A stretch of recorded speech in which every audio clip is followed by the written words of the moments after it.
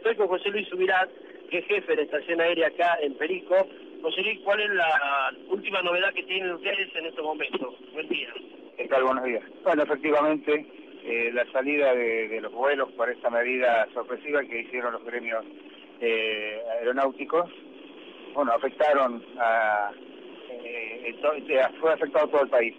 entiendo de que están reclamando el cumplimiento de, eh,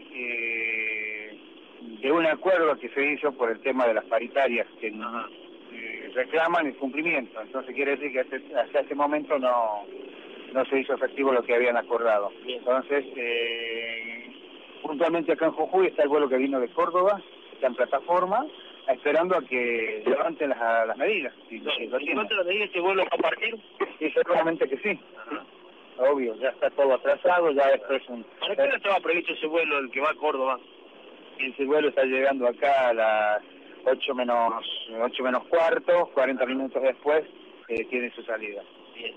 Y los otros vuelos, porque uno tiene que llegar de Buenos Aires, eh, que también sale de acá de Jujuy, 11 y 30 aproximadamente. Y bueno, si esto hace un efecto dominó, seguramente que todo se va a atrasar. Estamos hablando de aerolíneas. Andes está trabajando normal, salió normal esta mañana.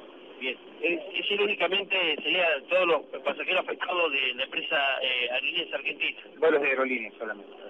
¿Y en la tarde cuántos vuelos tenemos? Y en la tarde tenemos eh, dos vuelos de, mm, de Aerolíneas Austral, tarde-noche, y eh, estaríamos esperando el de Flybondi también a media tarde. Bien. Eh, le pregunto por último ya, ¿empresa Andes en líneas aéreas solamente tiene un vuelo ahora en Jujuy? Andes está haciendo solamente un recorrido, sale en la, eh, sale en la mañana, eh, es como si fuera que viene de Aeroparque Jujuy, Aeroparque, hay que hacer Jujuy, Aeroparque, Jujuy, hace una sola vuelta en la mañana. Ah, únicamente en la mañana. En la mañana solamente. Antes debe venir un vuelo en la tarde y noche, recuerdo. El que salía en la mañana y regresaba en la tarde. Bueno, ahí está, la palabra de José Luis.